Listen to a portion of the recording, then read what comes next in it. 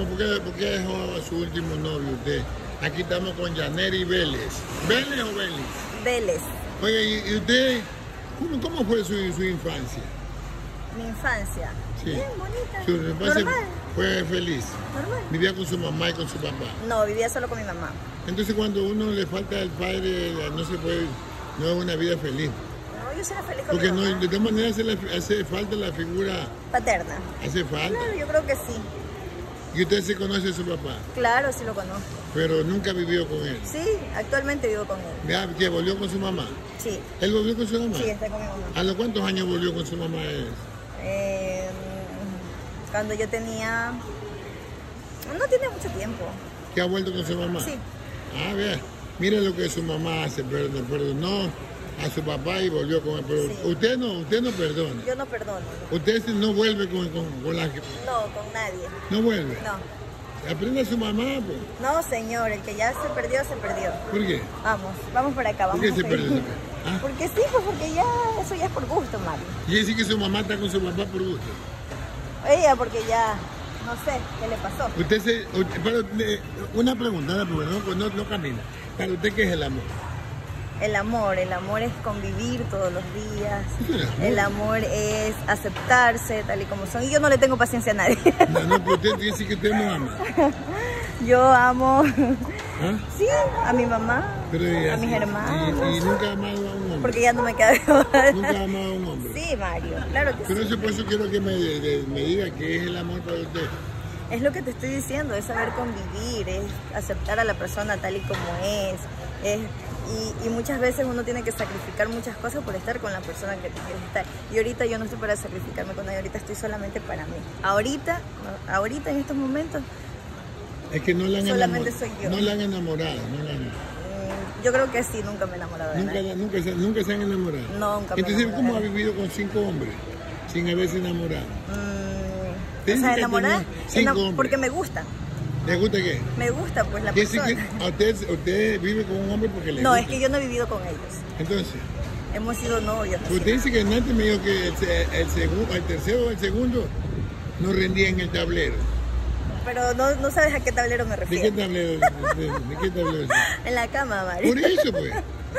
Ya, pero eso no quiere decir que viva con él. Nosotros podemos estar así y vernos, qué sé yo, un día, dos días, un día a la semana, dos días a la semana, irnos por ahí a pasar un rato, tranquilos, felices de la vida, hacer cositas, Hacer cocinas. hacer cositas. Y, Y no rendía, pues. pero no rendía, hermano. No, no rendía. Pero es que busca- usted busca, busca gente que haga cositas, tiene que buscar gente que la, verdaderamente... No, eso es un complemento, ahí va todo. Si una pero cosa no funciona, tiene- ya no funciona no, nada. pero tiene que buscar gente que en realidad la ame como usted, Por eso, pues. Pero es que todo es un complemento. como complemento. Todo, todo se complementa, o sea, tiene que ser todos juntos, si no, no, no va a funcionar. Ah, no, tiene que ser... eh, Exactamente. usted, quiere la, usted quiere un hombre perfecto. No perfecto. Por eso no busco a nadie, porque Usted, no, usted, usted, usted, usted cree que usted es la mujer perfecta. no, tampoco soy perfecta. No es perfecta. No, ¿Cuál, es, cuál soy muy problemática, No, usted, ¿qué, serio? ¿Qué no le gusta a usted? muy religiosa, ¿Cómo? muy celosa. Usted revisa los teléfonos. Yo también reviso los teléfonos. ¿Y por qué revisa? Sí, reviso los ¿Y teléfonos. por qué revisa? No te dejarías revisar el teléfono. Yo no me gusta. Oye, ¿por- y por- pero ¿por qué revisa los teléfonos? Porque quiero ver pues qué hay en el teléfono. Pero, pero si el teléfono es personal, pues. Pues ahí está, yo estaba usted revisando. tiene que, usted tiene que No respetar. respeté, no respeté. Tiene que respetar. No que a veces uno se juega con, la- con personas. Ya, y- Mario, Mario lo traigo por una cosa y ya se va por otro pero lado. si en la plena- Vamos por acá con las chicas. Aquí me ven. va a presentar, vamos. Acá están las otras chicas, vamos a conversar con ellas. Vamos a seguir conversando. ¿Con quién me, aquí me va a presentar? Aquí están de todas las chicas, aquí está Steffi, Alejandra Palacio, Alejandra Quiroz. La vueltita. Mario, ahorita vamos a hacer una entrevista. A ver, ¿dónde está? Pásame el, el- el micrófono. ¿Dónde está el micrófono? ¿Entrevista sobre qué? Producción, el micrófono. Estamos en el mercado y vamos a hacer una entrevista de cuánto cuesta la, eh, la libra de tomate, de cebolla, aquí en el mercado de Calderón. ¿Qué te parece, Mario? ¿Usted va a ser allá o me va a preguntar a mí?